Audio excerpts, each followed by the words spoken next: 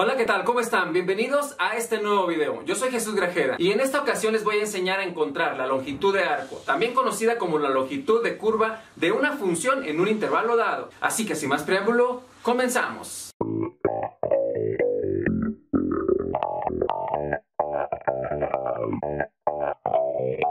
El ejercicio que vamos a resolver dice Encuentre la longitud de la gráfica y igual a 4x a la 3 medios del origen 0,0 al punto 1,4.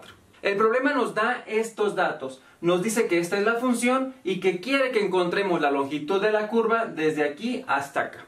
Yo ya he hecho la gráfica de la función, entonces yo los invito a que ustedes también la hagan para que se den cuenta que más o menos quedaría algo así. Entonces aquí tenemos esta curva, esta curva representa a la y, entonces esta curva es la y, ¿ok? Y te está diciendo que lo quiere desde 0,0 hasta 1,4, entonces lo he puesto aquí. El hecho de hacer la curva nos ayudará a visualizar más o menos de cuánto será el resultado. En este caso, nosotros podríamos aproximarlo con el teorema de Pitágoras para que veamos más o menos cuánto nos tiene que dar. Para aproximarlo entonces, yo voy a trazar un triángulo rectángulo aquí. Entonces vean este triángulo rectángulo que acabo de trazar. Entonces yo voy a calcular la distancia que hay de aquí a aquí. La longitud de la curva de acá a acá que es la azul, tendría que ser un poquito más grande que de acá a acá, ¿vale? Entonces primero vamos a calcular este que está aquí, que sería la hipotenusa, el que está en rojo, y ya después vamos a hacerlo entonces con las integrales para ver si nos dio aproximadamente o no. Entonces, si planteamos tres de Pitágoras aquí, pues tenemos que de acá a acá vale 1, ¿estamos de acuerdo? Entonces sería 1 cuadrado más, de aquí a aquí vale 4, entonces sería más 4 cuadrado, es igual a este que está aquí que le voy a decir x, entonces sería x cuadrado. 1 cuadrado es 1, 4 cuadrado 16, entonces esto daría 17, esto es x cuadrada, por lo tanto que x es la raíz de 17. Y la raíz de 17 es 4.12. Bueno, tiene más decimales, pero lo he aproximado nada más con los dos primeros. He puesto nuestro 4.12 acá, que es el que obtuvimos, entonces ya puedo borrar esto de aquí. Y al final vamos a comprobarlo. Y ahora sí, vamos a encontrar la longitud real utilizando integrales. Para esto vamos a necesitar una fórmula. Esa fórmula dice que L, esta L puede ser longitud de arco o longitud de curva, dependiendo del autor lo van a encontrar de diferente manera, es igual a la integral desde A hasta B, que serían los límites, o sea, de dónde a dónde, de la raíz cuadrada de 1 más la derivada de y con respecto a x de la función al cuadrado, cierra la raíz y le ponemos un dx. Por lo que acabamos de ver, en la fórmula necesitamos al intervalo, desde a hasta b. En este caso vamos a considerarlos en x, ya que acá tenemos un dx. Entonces sería desde 0 hasta 1. Esos serían entonces los intervalos, porque son los valores que están en x.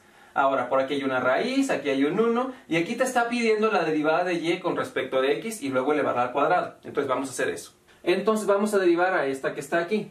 Entonces la derivada de y con respecto a x es igual a, es 4 por x a la 3 medios. Entonces ponemos el 4 que es una constante, ponemos al 3 medios ya que se baja, luego ponemos a la x a la n menos 1, o sea a la 3 medios menos 1 que me daría un medio. Y esta que está aquí ya sería la derivada. Vamos a simplificarlo un poquito. Aquí daría 4 por 3 son 12, entre 2 da 6. Entonces esto me quedaría 6x a la 1 medio. Esta que está aquí ya es dy en dx, pero nos está pidiendo a dy en dx al cuadrado.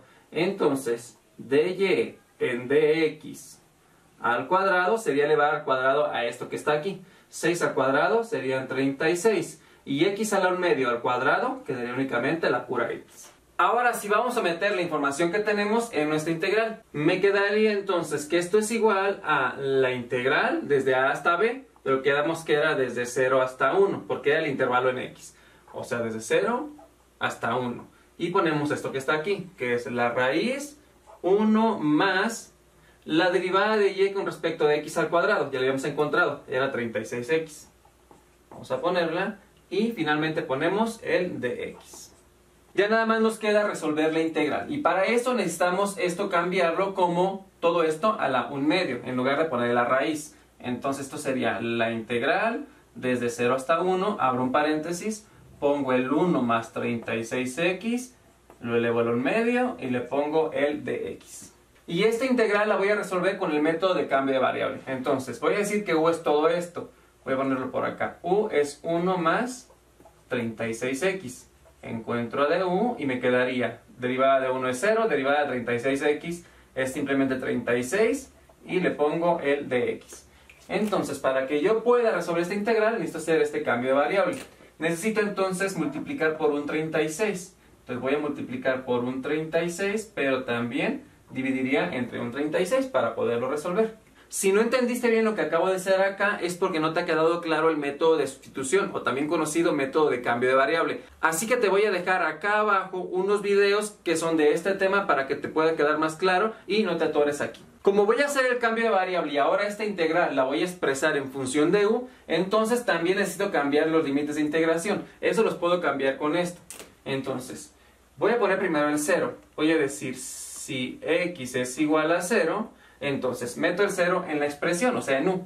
Sería entonces 36 por 0 da 0 más 1 da 1. Entonces u es igual a 1. Repito, si x igual a 0, u igual a 1 porque lo sustituimos aquí. Y ahora vamos con el otro. Si x igual a, en este caso 1, entonces me quedaría que u es igual a 36 por 1 serían 36 más 1, 37. Entonces u vale 37. Y ahora sí cambio todo en función de u. Quedaría que esto es igual a 1 sobre 36 por la integral desde 0 hasta 1, pero el 0 lo cambiamos por un 1 y el 1 lo cambiamos con un 37. Entonces sería desde 1 hasta 37. De 1 más 36x a la 1 medio, pero el 1 más 36x será el u. Entonces sería u a la 1 medio por el du.